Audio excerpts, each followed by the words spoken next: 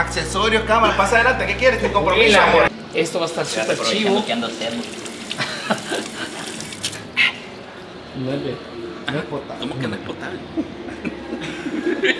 Lo sacan de aquí y ya se van bien galán a la ¿Qué vas a oficina. hacer, tío Frank? A la oficina. Solo un poquito, ¿viste? Pero vas a hacer un poquito nada más. Espero yo. Poquito nada más, ¿ok? No vayas a dejar todo embarrado ahí. No más de 5 libras. pues, Así chispeado. ¿Qué onda bichos? Bienvenidos a un nuevo video. El día de hoy les cuento que me encuentro de nuevo en el centro de San Salvador. Yo sé que ya he venido unas cuantas veces. Bueno, han venido seguido porque ustedes saben que esta parte se está haciendo bien turística. En la aventura del día de hoy me acompaña aquí Steven.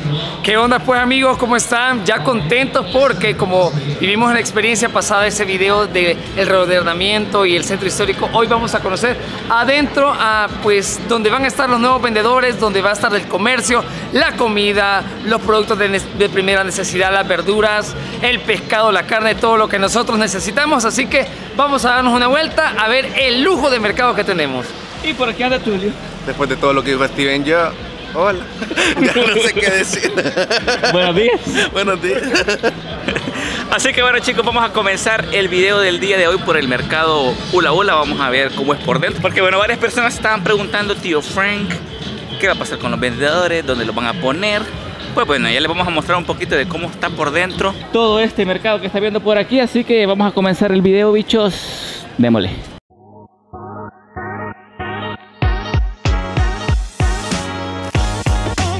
¿Qué onda, bichos?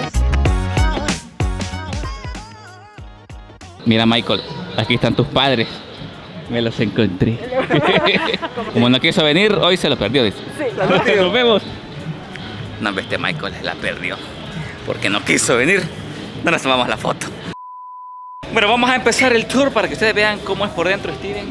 Mira qué chivo, estoy bien sorprendido porque es una gran tecnología y me llega que va a ser como un centro comercial. Aunque fíjate que ver un mercado popular en Latinoamérica con esta tecnología es bastante raro ya de hecho. Así que bueno, vamos a echarnos el tour. Venga, vamos. Ah, que bueno, esta entrada que una- tiene varias entradas principales, nos comentaban que tenían dos al costado, pero esta es como la principal que está específicamente en la calle Rubén Darío. Por si ustedes se querían guiar un poquito, también en la calle Rubén Darío hay una entrada vehicular que ya la vamos a ir a ver un poquito más adelante, pero vamos a hacer una entrada Triunfal. una entrada triunfal, editor música celestial.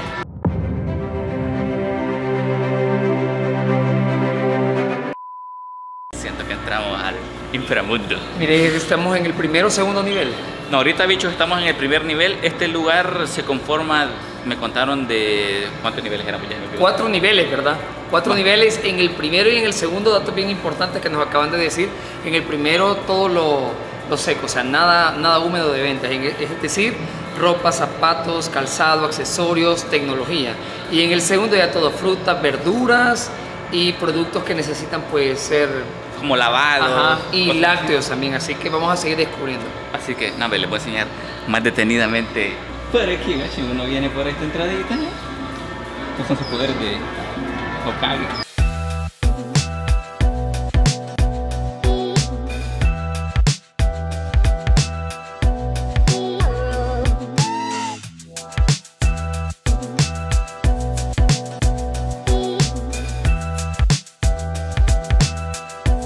Bueno, explorando un poquito más por la zona me doy cuenta que sí, está enorme. Imaginen pegar una remada para allá buscando cachadas por aquí.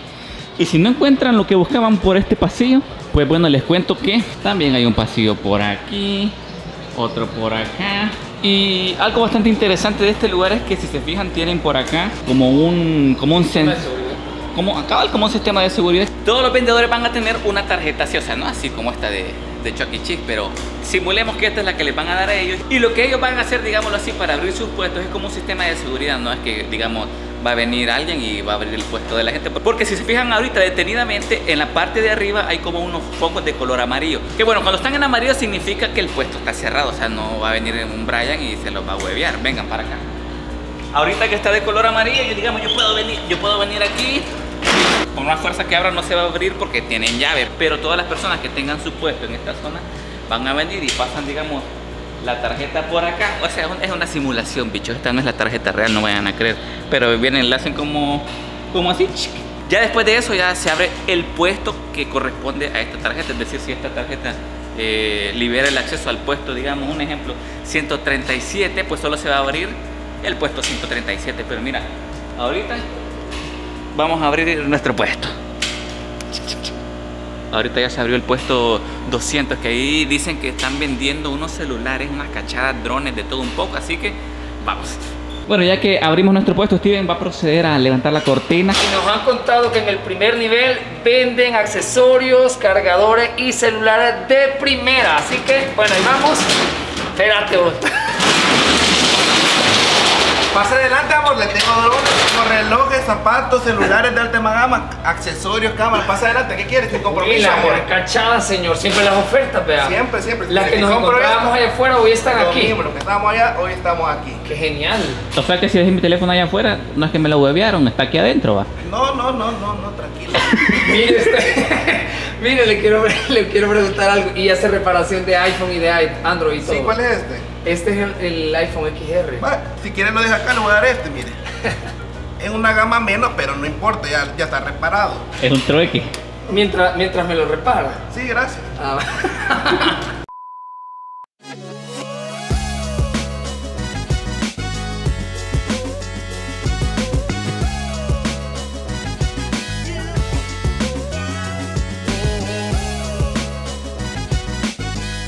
y si se fijan, este puesto que está abierto, si lo comparamos con este que están viendo por acá, pues cuando tiene la luz amarilla significa que tiene llave. Pero cuando ustedes nomás le ponen la llave, pues se apaga. Y eso significa pues que ya pueden ustedes entrar, bueno no ustedes, sino que los vendedores, ya pueden entrar los vendedores a poner su puesto.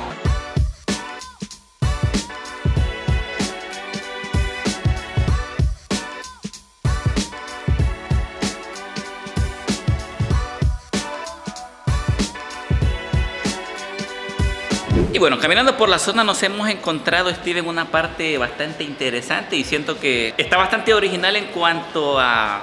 Siempre es bueno tener un poco de historia en los lugares que uno construye y más si están en un lugar, digámoslo así, bien... donde pasa mucha gente, digámoslo así. ¿Qué tenemos por aquí?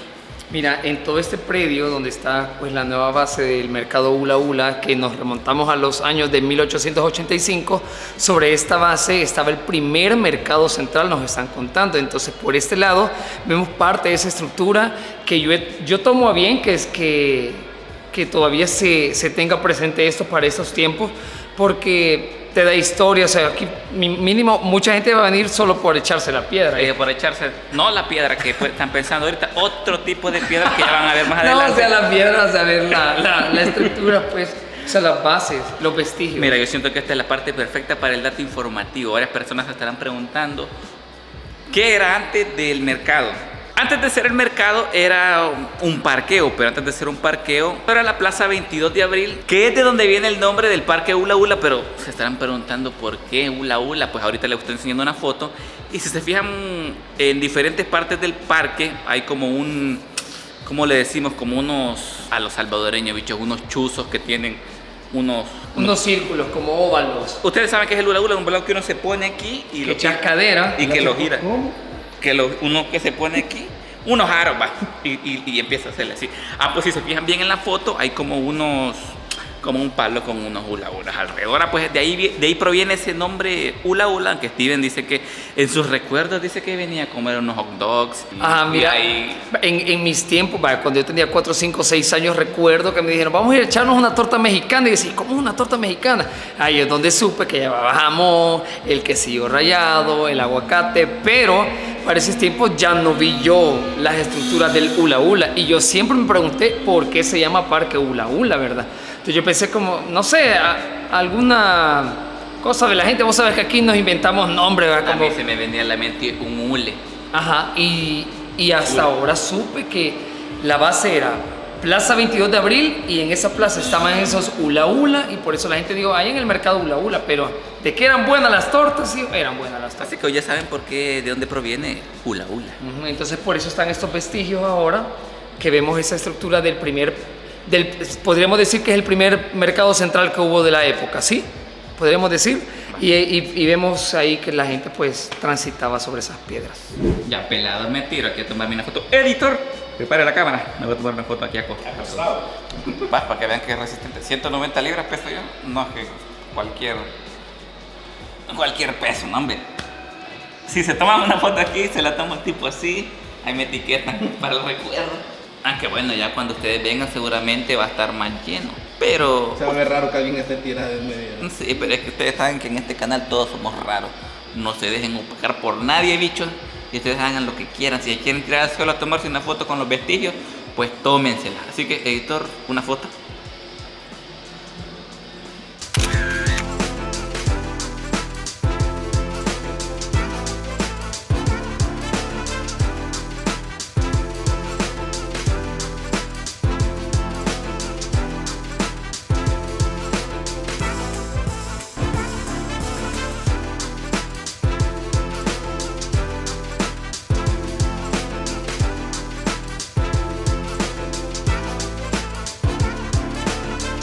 Y en esta área que vemos bastante despejada en estos momentos porque se está eh, construyendo es el muelle de carga. Aquí va a traer los proveedores, la ropa, los zapatos, la comida, accesorios, entre más cosas. El primer nivel va rápidamente a desplazarse las cosas, ¿verdad? Pero más que todo el muelle de carga va a ser para el segundo y quinto nivel. En el segundo nivel que ya eh, estuvimos hablando que va a ser las cosas que se van a lavar, cosas como lácteos, carne, entre otras cosas. Y en el quinto nivel que ya nos están contando que va a ser el área de fútbol, que ya lo vamos a ir a verificar, son los que van a usar más que todo el área del ascensor para poder llegar a esos lugares y no estar jalando tantas cosas. Sí, porque bueno, les cuento que los vendedores tienen un ascensor ya designado para ellos, que es, por ejemplo, la gente que venga a agarrar su producto aquí y tenga su puesto en el nivel 2, digámoslo, pues puede usar el ascensor. Las personas que están en el puesto 1 no le veo obviamente la necesidad del ascensor, solo para subir al nivel 2 y, y bajar al 1 para ir a pasear un rato, es lo más que veo, pero de ahí solamente se lo llevan a su puesto que está en el nivel 1. Así que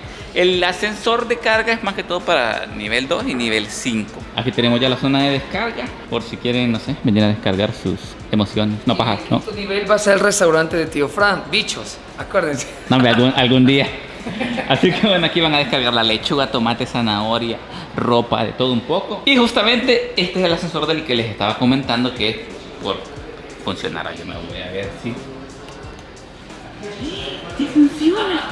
Ah, pues por, ah, pues por aquí se va a ir la gente que venga a agarrar su producto por acá y se lo lleva al nivel 2 o nivel 5. Y bueno, como dato informativo del ascensor de carga, les cuento que si ustedes vienen y no son vendedores, porque este ascensor está designado específicamente para los vendedores. Si ustedes apretan el nivel 2, que es un nivel donde están los vendedores y no tienen su tarjeta que tienen que poner aquí.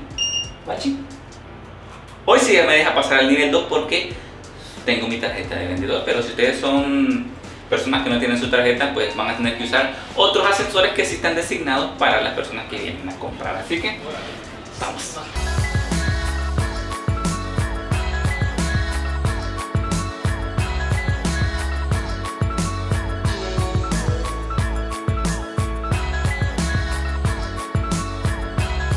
Ya nos encontramos en el segundo nivel y aquí esta parte ya es como, digámoslo así, estos que están viendo de color verde son para las personas que venden, digámoslo así, lácteos, carne, comida. No sé, ustedes vienen aquí en esta zona, ya todos estos puestos tienen este, este lavabo, ya miren, echen el agüita por si ustedes se vienen aquí, se lavan las manos, después ya pueden empezar a hacer la torta, no sé, por si despluman una gallina, cosas así que pueden vender por acá, así que ahorita vamos a seguir a ver qué más podemos encontrar, Steven, qué más, imagínate vos teniendo tu puesto aquí. Mira, si yo soy un, un vendedor de lácteos, obviamente, ¿verdad? Que atiendo a mi cliente, después aquí parto todo Ah, y toda la, la- vegetales. la higiene, sí, los protocolos de bioseguridad. Así que yo creo que esto va a estar súper chivo. que ando cerdo. No es de- no es potable. ¿Cómo que no es potable? Ya imagínate ahí con una verdurita. Ajá. Y la- ya te la van a dar lavadita. Vaya, mira, la cosa es que este es el área donde va frutas, verduras, lácteos, carnes, todo lo que necesita ser eh, de higiene. Obviamente aquí va a tener la persona las herramientas necesarias para poder y veo también aquí un tragante obviamente si aquí se cae la sangre se queda el lodo obviamente ellos van a poder tener la oportunidad de limpiar y ahí se va en el tragante porque por aquí hay si, aguas negras por si hay algún deschongue, pero yo sé que los, amigos vendedores van a tener todo ordenado, no va a haber tan, ni tanta pues sí. necesidad, pues sí. Pero, ajá, pues ya saben la diferencia entre el nivel 1 y, y el nivel 2. Aquí van a poder venir a echarse sus, sus tortas y carne. Exijan eso sí que sus verduras vayan bien lavadas, porque no les van a poder dar la casaca, la casaca que es que fíjese que hoy no tengo cómo lavarla. ¿Cómo que no? Si le estoy bien de lavado, dígale usted. Así que seguimos.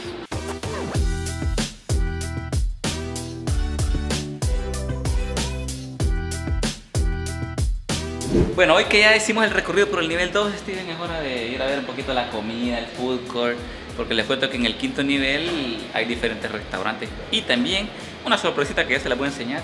Vamos entonces.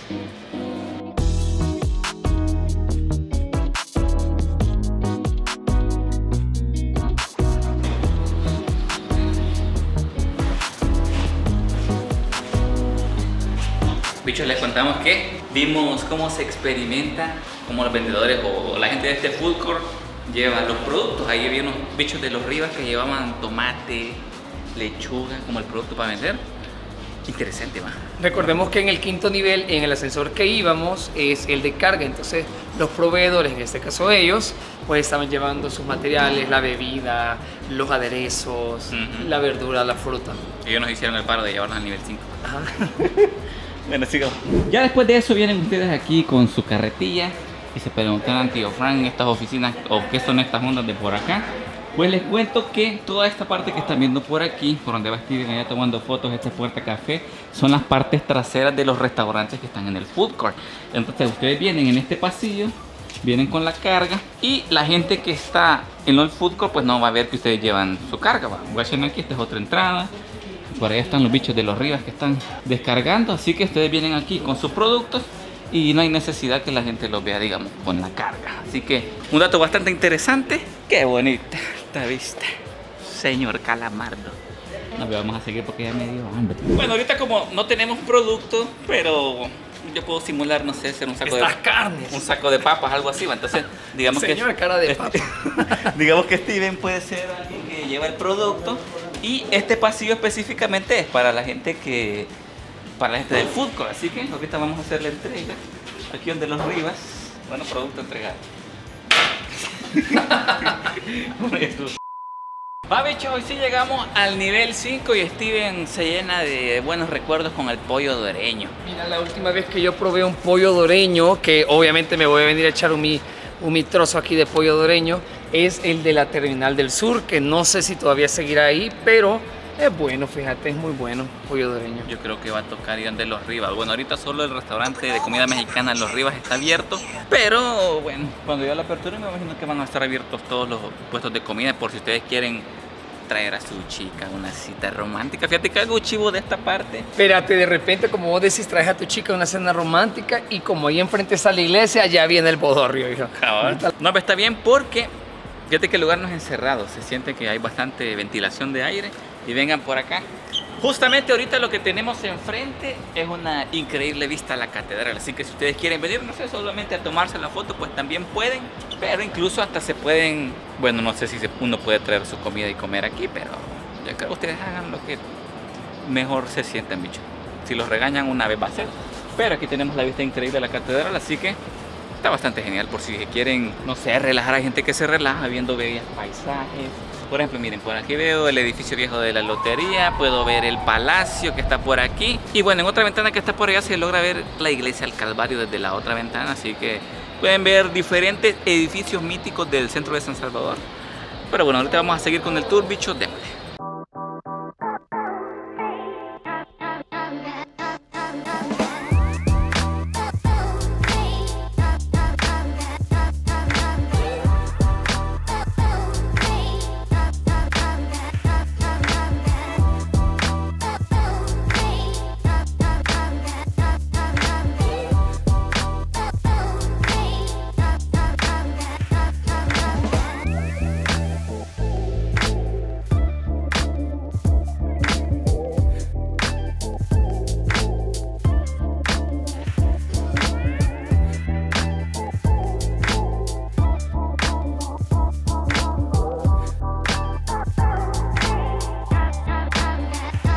Bueno, yo les cuento que tenía ganas de probar el pollo doreño, pero ahorita está cerrado. Me imagino que con el tiempo van a ir abriendo más locales, pero les cuento que el lugar está bonito. Si ustedes quieren traer alguna, alguna subicha o algún subicho, aquí alguna cita, pues bueno, lo pueden hacer. Y lo bueno es que los precios aquí son bastante accesibles. No es como que digamos que la lleven a un restaurante gourmet, pero aquí está bonito. ¿Quién necesita restaurante gourmet? Cuando tienen esta vista por aquí.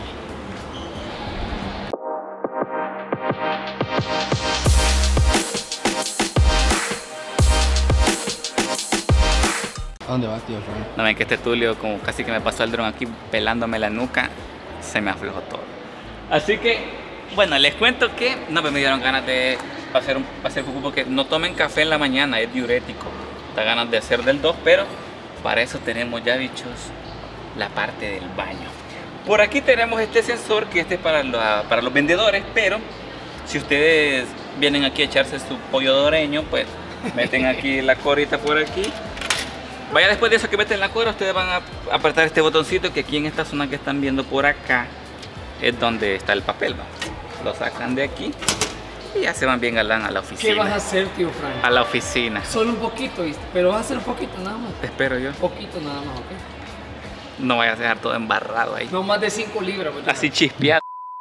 Si se fijan, ahorita está esta luz LED de color rojo, pero cuando ustedes ponen la cora o cuando el vendedor pone la tarjeta, pues se pone de color verde así, guachen. Y ya se pueden meter. Pero no sé si el camarógrafo va a pasar. Y bueno, ya dentro del baño les cuento que tanto los vendedores como las personas que vengan al baño eh, tienen la opción de comprar diferentes productos aquí como papel higiénico, toallas sanitarias, papel toalla, toallas sanitarias nocturnas, bueno, de todo un poco. Está preparado este baño con todo. Así que bueno, aquí lo tenemos ya por acá. Steven creo que ya se metió a estrenarlo. Aquí estoy. Qué raro están estos. Un. Tienen un poco de privacidad porque mira, tú no quieres hacer del todo. Toda la gente lo va a ver. Es que es tecnología de punta. Quizás funcionan en otros países así. Es que son más open mind allá, no les importa que se vean.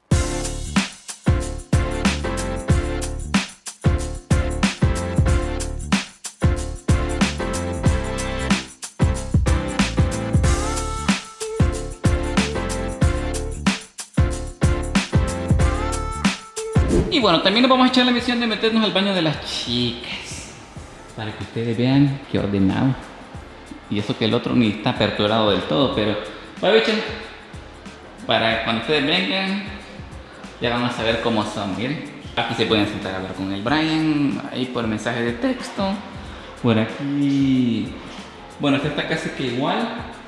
Ah, bueno, mira, estos son grandes, un poquito más grandes para las personas que tengan Discapacidad. Alguna discapacidad. Interesante. Están bastante bonitos, la verdad, pero siento que es tarea de todos mantenerlos limpios. No vayan a venir a dejar la taza chispeada. No vayan a venir a taparlos porque hay personas que dejan grandes ñeques. Y tampoco, bueno, no vayan a andar manchando las paredes, no vayan a poner sus números de teléfono como hombre soltero busca, busca chica exótica en el baño de hombres, porque en el baño de hombres solo entran, entran hombres y no sé por qué hay hombres que ponen, es un secreto, bichos, si ustedes no sabían, hay hombres que ponen su número de teléfono. Que ponen, ¿no?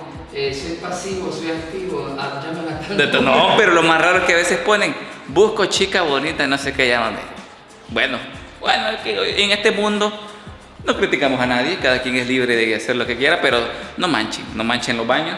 Si ustedes quieren buscar alguna chica o algún chico, pues lo pueden hacer fuera del baño, no manchando. O no vayan a poner algo como Roberto te amo, o I love you, o, promoción el champañal 2022, algo así, no vayan a salir con esas bayuncadas.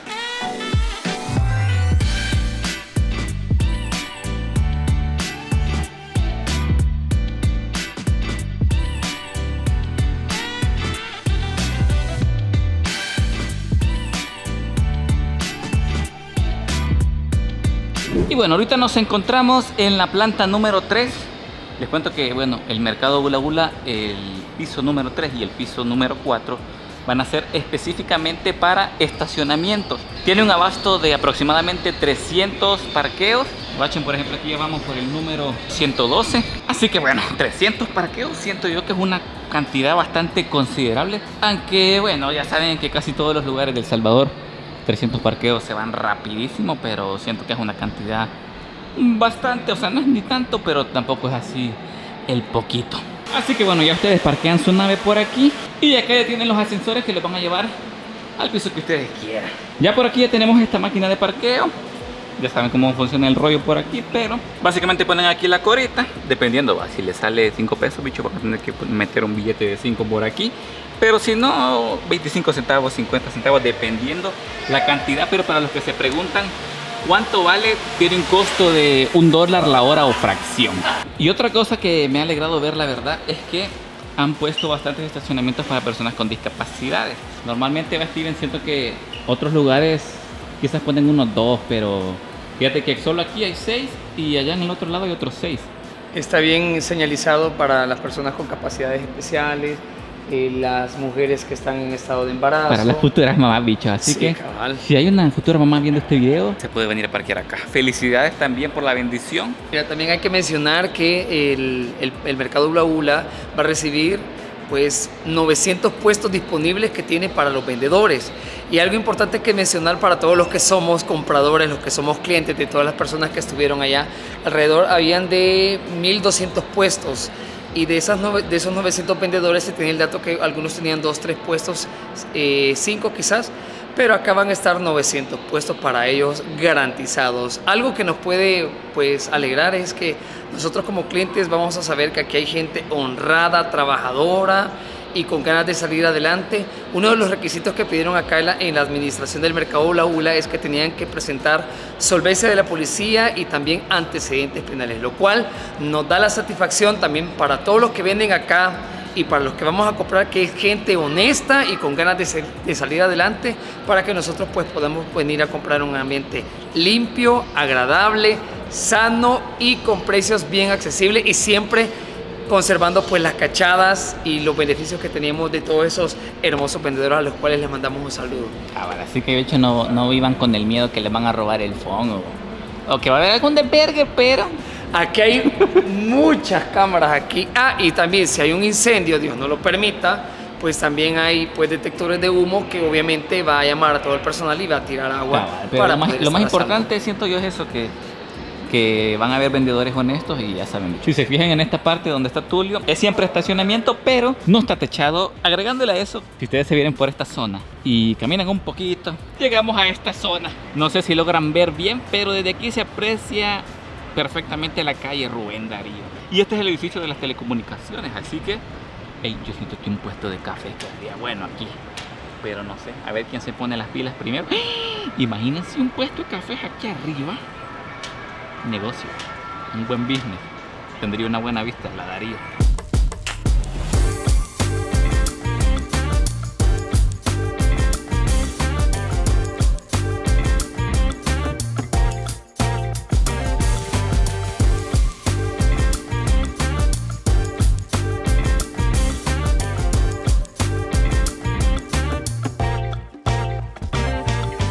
Y así amigos terminamos el video del día de hoy. Espero que les haya gustado esta aventura conociendo un poco de dónde estarán los vendedores que anteriormente estaban en la calle Rubén Darío.